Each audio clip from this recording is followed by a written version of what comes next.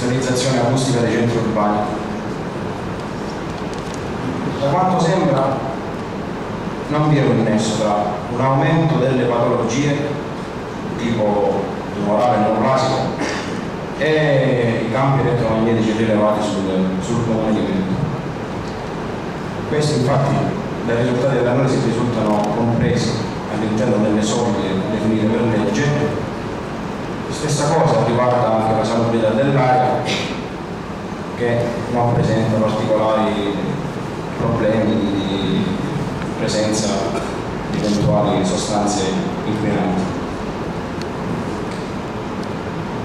È noto sicuramente l'aumento delle leucemie in aree a forte presenza di benzene, ma da quello che si vede a merito anche i parametri delle emissioni in atmosfera sono tutto sommato normali.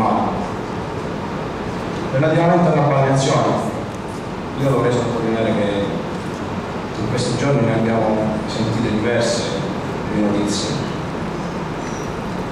Il mare a non è balneabile e non merita la bandiera blu. Secondo me è balneabilissimo, forse per meglio la, la medaglia d'oro sul nostro territorio infatti non esistono scarichi fognarie controllati, in quanto tutta la rete fognante è adeguatamente collettata, i reti sono trasportati al depuratore, quindi non abbiamo problemi di sversamenti a mare. Il depuratore è pienamente efficiente.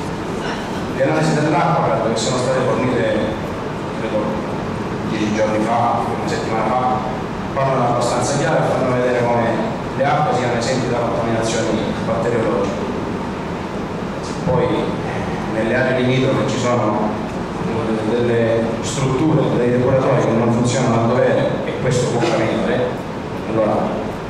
con il gioco delle correnti ci ritroviamo sicuramente che